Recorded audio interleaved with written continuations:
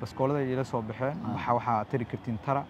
Dadweynihii meesha joogayna kolley baskooladay ku kala ceersadeen. Ha, adugu sidii markii dambe ay- aa lagu waayay ha. marka meesha jegboont ma ahan soo? Jagboyntina ma ahayn jagboyntina iska ma caadi. ahayn. Ha, Iska- meel iska caadi oo darees laami- ma wateen laami ahayd. May may ma dad iska dharcaday ahaayeen. In qof aragga naafo ka ah aan kuu jeedin la handado baskoolada lagu soo taago aan ka kaa carari karin oo ogeyn baskooladaas inay ammaanka u furan tahay xabadda soo tuuraayaan iyo xalay waxaan la seexan waayey wuxuu ahaa qalbi jabka haddii qofkaas uu dowladda u diiwaan gashanaana wallaahi runtii qofkaas waxaan aad ayaan maaragtay uga xumahay. Mustaqbalka dambe wuxuu geysan doona anoo dalkayga dowladda soomaaliya waxba iguma tarto waxbarasho igama bixiso maxaan ku rahday caafimaad iguma tarto wax ay ii soo kordhiso haba yaraatee ma jirto. Ismaaciil haye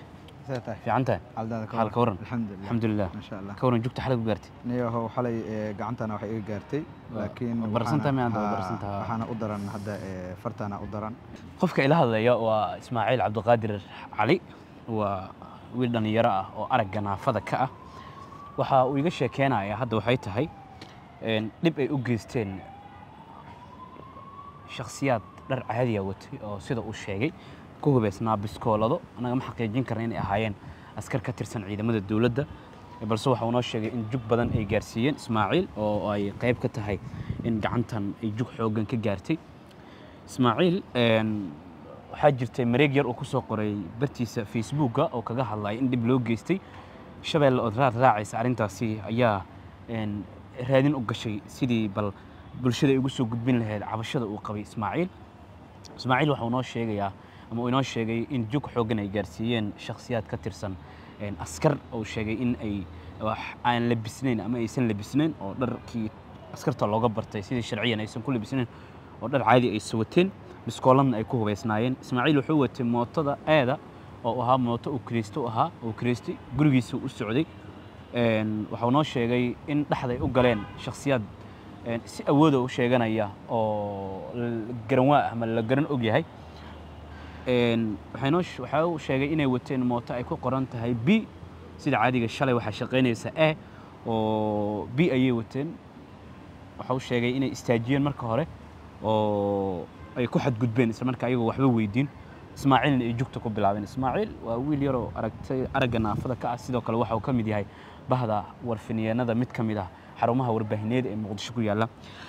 Ismaaciil waxaan wax ka weydiin doonaa bal sida dhibtay u gaartay lugtan bidix oo aad arkaysaan jug xooggana uga taalla oo hadda manoo saamaxaysa idin tusno muuqaalka.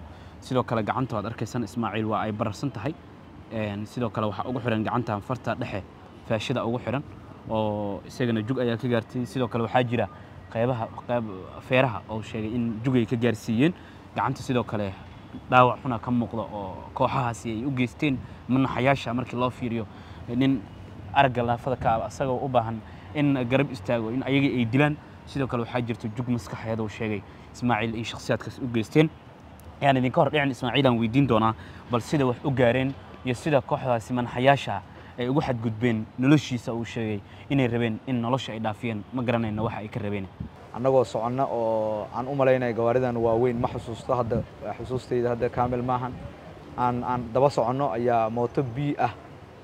Ordaysaana soo gashay. Sida caadigana shalay waxaa waxaa iska lahayd sagaal iyo labaatanka bisha shanaad laba labaatan iyo afar waxaa iska lahayd e mooto b oo ordaysaana soo gashay. Marka aniga caadiga geeska bidixaan fadhiyey wiil kale oo miisaanka dhuxusha naga raacay oo ilaa xaafadeyda meel u dhow rabayna ayaa isagana bi- midigtu iga fadhiyey. Marka bidixda birta saasaa u haystay aniga birtaa saa u haystay.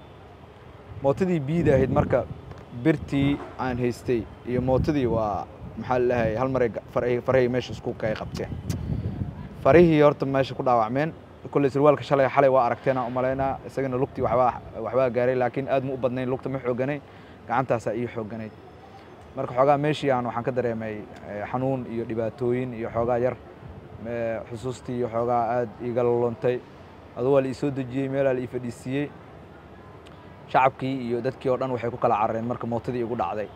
Ayagoo qof aragga naafada ka ah u hiili isleh markay nimankii u tageen oo isdhaheen muxuu ahaa niyow ninkii aad wax gaarsiiseen waa nin aragga naafa ka ah oo indhoole ah la xaajooda ugu yaraan xataa dhakhtar u raadiya farmasi geeya. Markii la yiriba nimankii waxay la soo baxeen iska soo jareen baaskoolado ayay iska soo jareen. Ma caddayn karo baaskooladaas inuu shakhsiga eh, mootada u saarnaa uu watay iyo inay labadood wateen iyo in muxuu ahaa darawalka watay ma ma caddayn karo. Laakiin mooto biina way ahayd baskooladna waa lala soo baxay shacabkii oo kala cararaaya ileh meesha ka dhaqaaq yaan lagu dilin ka carar ka carar ileh ayuun baan ka war helay. Markii aan weydiiyey waxaa la yidhi nimanka baskooladay la soo baxeen. Nin marka khayr qabaa ay waday farmasi i geeyey farmasigiiya markii isla markii waxaa la iigu sameeyey dhayid lugtii iyo gacantii.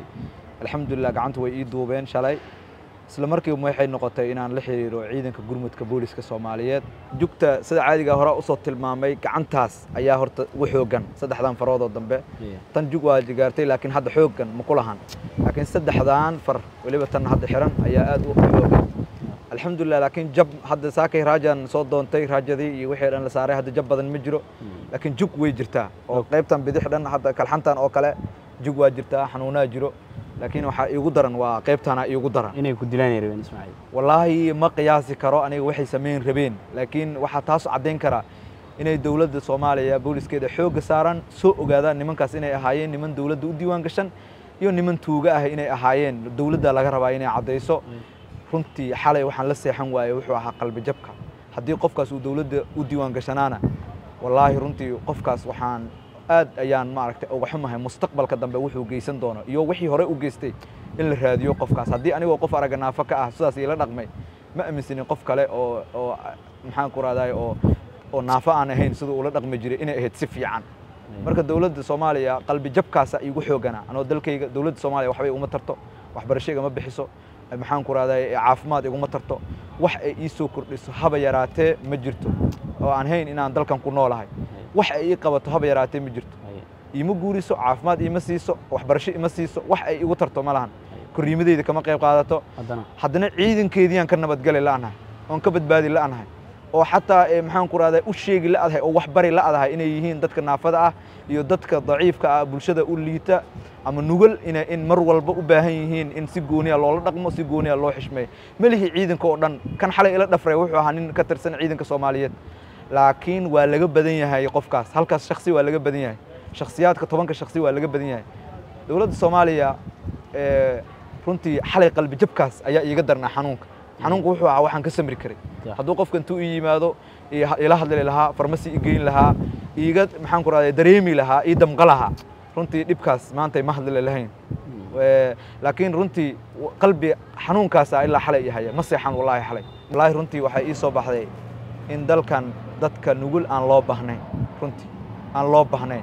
Haddii weli saacadaha soo socda laga jawaabi waayo runtii inaan loo baahnayn ay ii muujinaysaa. Waxyaabaha la yaab kale ee aan saldhigga yakshiid booliska markaan tagay in la caawiyo iska dhaafay waxaa ka mid ahaa waxaa lagu leeyahay maa ninka raadsatid maa qoladu ku dhashay maxaa qoladu ka dhashay maa raadisid? Maa muxuu ahaa ogaatid? Ninka maa la xaajootid? Maxaa muxuu dacwo iyo rafaad iyo maxaa ku gelinaya marka waxyaabahaas waxyaabaha xataa idamqinayay qayb ka ahayeen dhibta ismaaciil gaaray waxa ay danqisay bulshada soomaaliyeed si gaara ehelkiisa mana jirin ilaa hadda damqasho u muujisay. Dowladdii isaga matalaysay waxayna taasi ku tusaysaa inaan la kala garanayn. Shakhsiga askariga ah ee ciidanka dowladda u diiwaan gashan iyo burcadka hubaysan oo ayn dowladda soo qabanayn anas maxamed soomanes shabeelle t v muqdisho